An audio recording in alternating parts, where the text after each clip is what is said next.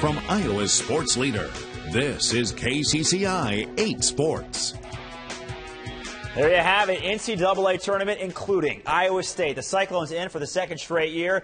22 and 11 taking on the Notre Dame Fighting Irish. A 25 and 9 season for them. They are the seventh seed. This game on KCCI approximately 8:45 Friday night from Dayton. Winner most likely gets Ohio State the following game, which would be on Sunday. Cyclone fans waiting nearly the entire hour before their name was called. But the important thing was their name was called, and they are back on the dance floor. Tony Seaman was in Ames today, hanging with the mayor and his players.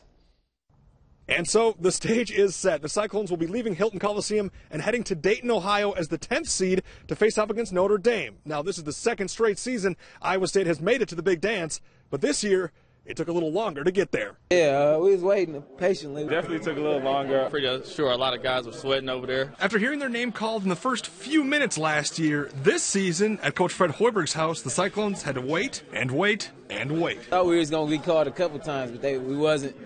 So um, we just had to wait, but it, it was good to hear our names get called. Uh, it was a good feeling. Uh, a lot different than last year. Uh, you know, when we had the second game called, and we, you know we got out of the, got out of Hilton in about 10 minutes. Um, so it got a little nerve wracking there towards the end, but it was definitely a great feeling. It's always nerve wracking when you're watching stuff like this. Uh, you never know when your name's gonna be, your team's gonna be called. Uh, but hey, I'm happy with our selection. We're ready to get back to work. But better late than never. And now ISU has their sights set on Dayton and the Fighting Irish, and are looking to make some noise in late March. It was great uh, seeing the Cyclones pop up. I'm, I'm, just happy it's over with and know that we're in the tournament. And uh, I'm just happy to be a part of it. Um, whenever you can play meaningful basketball in March, it's a great thing. Get the back-to-back NCAA tournaments is definitely a step in the right direction. Uh, you want to be in this position where you can get there each and every year where you're competing for championships. Uh, so it's uh, it's exciting. We're excited to be going back and uh, and playing again against a great team, and hopefully we'll be competitive. Going to NCAA tournament is, is one of the, the highest points of a collegiate athlete.